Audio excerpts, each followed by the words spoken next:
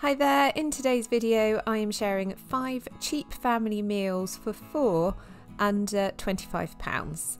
Any recipes that I'm following I will link below. One of the things I love doing is tray bakes. They are so easy, there's minimal mess and I only need to have the oven on. This is lemon and garlic chicken. So in a tray I've got some chicken thighs, I've added some halved baby potatoes that were from my Too Good to Waste box from Lidl.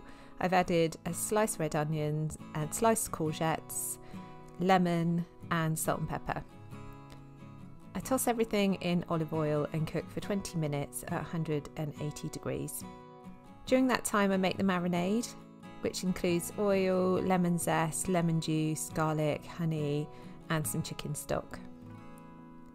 I pour everything onto the meat and the vegetables and cook in the oven for another 25 minutes. This is so easy and delicious, and you could easily swap in any other veggies. I think it would be delicious with peppers and mushrooms and aubergine.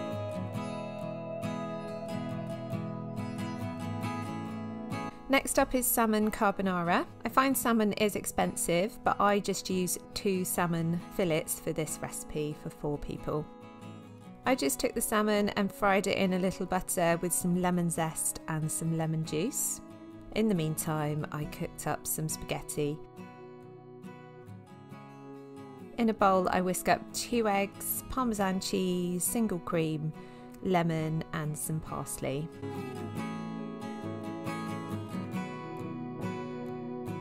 During the last five minutes of cooking the pasta, I also added some peas and some spinach. I love having these in the freezer, they're so cheap and easy to add extra veg to meals.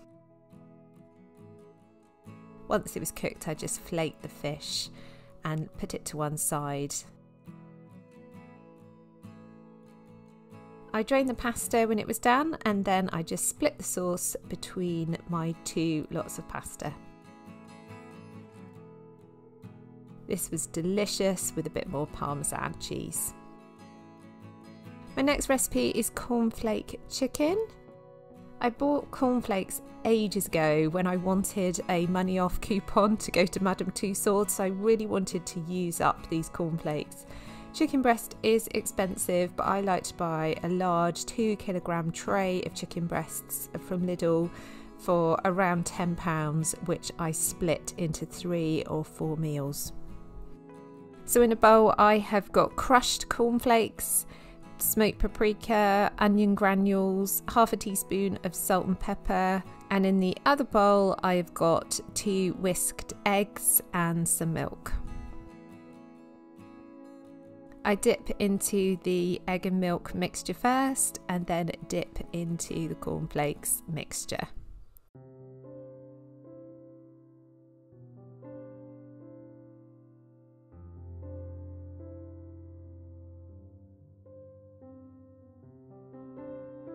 Place the chicken on the baking sheet and then I just give them a spray with some olive oil cooking spray. These are so easy. I bake them in the oven for about 20 minutes and just make sure it's cooked through. I serve these with mini chipped roast potatoes and some salad. Next up is chicken sausage pasta. I love buying the chipolata chicken sausages um, from Lidl or Aldi. I just chop them up and fry them in a pan. I've just added red onion, garlic, peppers, and a few chopped mushrooms and cook those for a few minutes. To that, I've just added some single cream, which is so delicious, and I just think it's fine to have that and split that between the four of us. I just cook that and bring all the flavours together for a few minutes and then mix it with some pasta, and it is delicious and a really big hit in our house. Finally, I've got sticky Chinese five spice chicken. Again, it's another tray bake. I am a big fan of these, and I'm using the chicken thighs again from Lidl. In a bowl, I've just mixed up some sesame oil, a small amount of honey, some five spice powder, some ginger, garlic, and then added some hoisin sauce. I just pour this over the chicken to use as a marinade, and it is really delicious if you've got time to leave it marinating in the sauce because it is so delicious. But you can just add it if you haven't got the time. I just roast the chicken skin side, side up for about 40 minutes. At the end of that time, I add in some chopped spring onions and some cashew nuts and then pop it back in the oven for another five minutes. I like to serve this with rice and prawn crackers. As you can see, I'd actually forgotten to take a photo of the finished meal and I'd started eating it, but it is so delicious. The kids really loved this meal and it was so simple. I hope these recipes have given you some inspiration.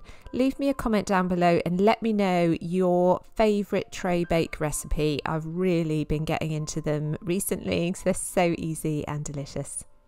If you're new here, then don't forget to subscribe, and I'll be seeing you again soon. Bye.